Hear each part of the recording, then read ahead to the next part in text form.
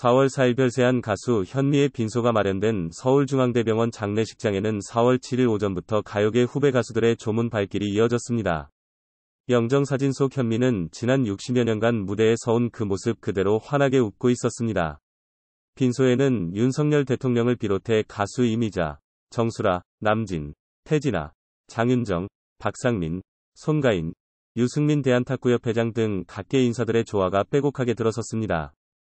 가수 베이로와 함께 가장 먼저 빈소를 찾은 현숙은 현미 선생님은 우리 가수들의 버팀목처럼 늘 푸른 소나무 같은 분이었습니다.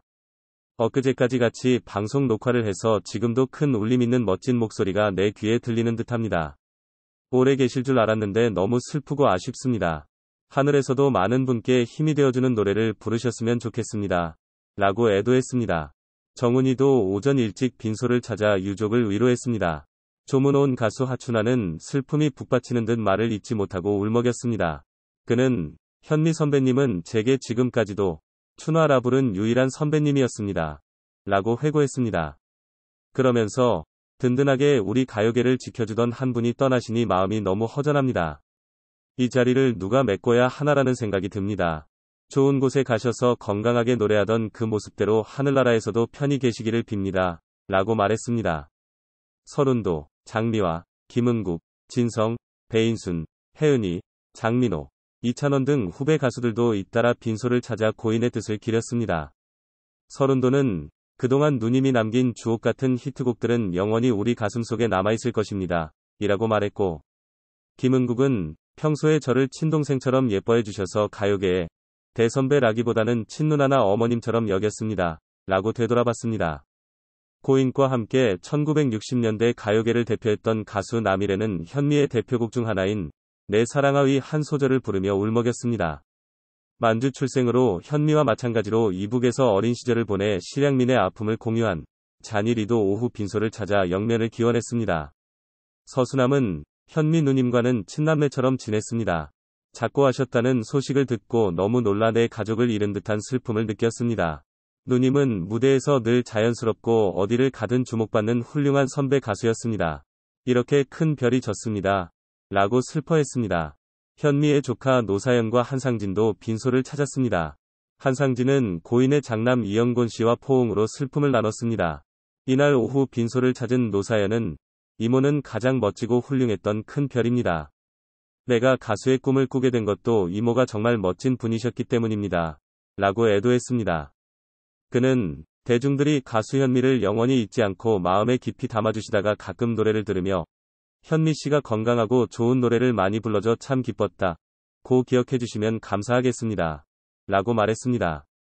장남 이영곤 씨는 취재진의 집문 밖에서는 대한민국의 대중가수 현미였지만 집에 들어오면 그 순간부터 두 아들의 어머니였습니다. 최근까지도 아침 저녁으로 차 조심해라라거나 건강해야 한다. 고 말씀하시던 평범한 어머니였습니다. 라고 말했습니다. 그런 어머니를 비명에 떠나보낸 아들의 심정은 이루 말할 수 없는 비통합니다. 이 씨는 다른 어느 것보다도 혼자서 가신 게 너무 마음이 아픕니다라며 쉽게 말을 잇지 못했습니다. 그는 자식이 둘이나 있고 식구들이 많은데 혼자서 말없이 가신 것에 대해서는 평생 씻어도 못 씻을 불효라 생각합니다라며 울먹였습니다. 타지에서 어머니와 떨어져 지내온 이 씨는 평소 어머님과는 카톡이나 영상통화를 자주 했습니다. 한국 시간으로 아침이면 어머니께서 여러 가지 좋은 이야기와 이모티콘을 보내주시곤 했습니다라며 자신의 휴대전화를 꺼내 보여주기도 했습니다. 이 씨가 공개한 카톡에는 예쁜 꽃 사진과 좋은 글귀, 이따만큼 사랑해 등의 문구가 쓰여진 귀여운 이모티콘 등 우리네 어머니들이 자식에게 보내는 아주 평범한 메시지가 담겨 있습니다. 이 씨는 카톡을 본 지인이 여자친구냐 묻기에 우리 어머니라고 하자 놀라기도 했습니다라는 에피소드를 소개하기도 했습니다. 그러면서 이 씨는 매일 영상통화를 했습니다. 떠나시기 전날에도 영상통화를 했습니다. 어제 한국에 도착해 빈소 일정을 잡고 어머님 댁에서 잤는데 어머님은 방에서 주무시고 그냥 내가 어머님께 다니러 온 것 같았습니다. 라고 말했습니다.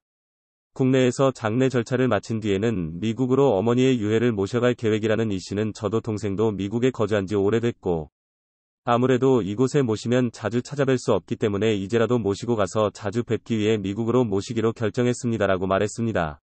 시종 담담하게 어머니를 추억한 이 씨였지만 인터뷰 말미 어머니께 한 말씀을 부탁하는 취재진의 질문에는 그 얘기는 죄송합니다라며 끝내 눈시울을 붉혔습니다. 대한가수협회 주관의 5일장으로 장례를 치르게 된 데 대해서는 어머님도 가수시고 가요계에서 대선배님이시니까 가수협회장으로 하는 게 맞겠다는 생각에 흔쾌히 동의했습니다. 조문을 많이 오시든 안 오시든 엄마의 마지막 가시는 길이니까 하루라도 더해 5일 동안 편안히 모시고 가자고 그렇게 결정했습니다라고 말했습니다. 이 씨는 저와 동생이 있고 손주 손녀도 많은데 가실 때 혼자 가셔서 너무너무 마음이 아픕니다. 분명히 편안하고 좋은 곳에 가셔서 지금쯤 저를 쳐다보고 계실지도 모릅니다. 어머니께서 영원히 국민 여러분들 가슴 속에 깊이 기억되는 가수가 됐으면 하는 바람입니다. 다시 한번 애도해 주시고 슬퍼해 주시는 국민 여러분께 감사드립니다라고 말했습니다. 고인의 장례는 대한가수협회장으로 엄수됩니다. 연결식은 4월 11일 오전 10시입니다. 이자연 대한가수협회장이 조사를 낭독하고 가수 박상민과 알리가 추도사를 읽을 예정입니다. 현미의 노년은 화려하지만은 않았습니다. 방송과 무대에서는 여전히 멋진 모습을 보여주는 그녀였지만 개인사는 순탄치 않았고 큰 빚으로 생활고에 시달리기까지 했습니다. 그렇게 힘들 때도 찾던 사람이 바로 이봉조였습니다. 많은 이들이 두 사람이 부부 사이라고 알고 있지만 사실 두 사람은 정식으로 결혼한 사이가 아니었습니다. 이봉조는 본처가 따로 있었고 유부남이라는 사실을 속이고 현미와 결혼식을 올렸었습니다. 이에 두 사람 사이에 낳은 자식도 아버지의 호적에 올라가지 못했습니다. 법률상 배우자가 아닌 현미는 이봉조가 작곡한 그 유명한 노래들의 저작권도 받지 못했습니다. 현미는 임신 후 결혼을 약속한 상태에서 이봉조의 본부인이 찾아오는 바람에 그 사실을 알았다고 합니다. 현미는 관계를 정리하려고 했으나 이봉조가 극구 거부했다고 합니다. 현미는 당시를 떠올리며 남편과 헤어지자고 했더니 그럴 바엔 여기서 세상을 뜨자며 날붙이를 가지고 들어왔어요. 이러는데 어떻게 집문서를 가지고 나오겠어요. 어떻게 하면 도망갈 수 있을지만 고민했을 정도로 무서운 의협을 당했어요. 아파트 정문에서 숨어 있기도 했어요. 전했습니다. 그럼에도 현미는 자신을 속였던 남편을 원망하지만 그래도 후회해요. 살면서 이봉조 아내라는 그늘에서 벗어날 수 없었어요. 이제 와서 나는 영원히 운명적인 부부였다고 실감하고 있어요. 라고 밝혔습니다. 다음 생애에도 이봉조를 만나겠나? 라는 질문에 현미는 망설임 없이 만나야죠. 라고 답해 이봉조에 대한 여전한 사랑을 과시했습니다. 현미는 그분 덕분에 내가 노래를 부를 수 있었고 스타가 됐어요. 그를 여전히 존경합니다. 나의 은인이자 스승이요. 애인이요. 남편이라고 생각합니다. 라는 말을 남기며 그의 잘못을 모두 용서했습니다. 더 나아가 현미는 이봉조가 세상을 떠난 뒤 본처 자식들의 요구를 들어주며 본처와 합장까지 해줍니다. 그렇게 다음 생애에도 만날 것이라는 현미는 이봉조와 멀리 떨어진 미국에서 잠들 예정입니다. 부디 그곳에서 만나 못다한 회포를 풀며 먼저 떠난 동료들과도 만나 함께 노래 부르며 편히 쉬시길 바라겠습니다.